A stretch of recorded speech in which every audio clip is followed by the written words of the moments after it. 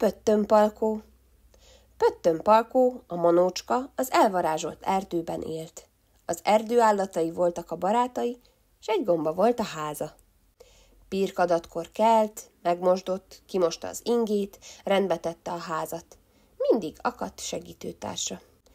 Szabad idejében abban lelte örömét, hogy eljátszogatott az erdő állataival.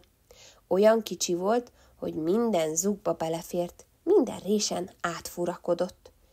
Nézzétek Pöttönpalkót, milyen jó neki, cincogták az egerek.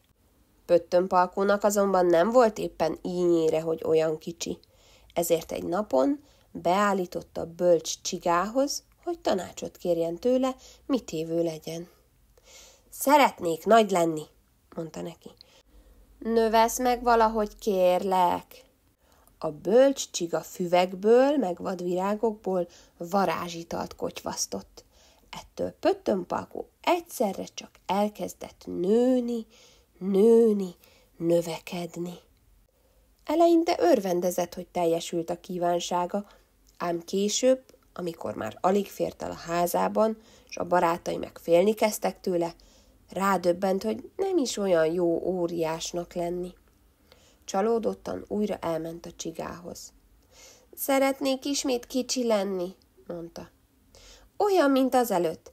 Kérlek, segíts! Amióta ilyen nagy vagyok, nincs hol laknom, nincs kivel játszanom.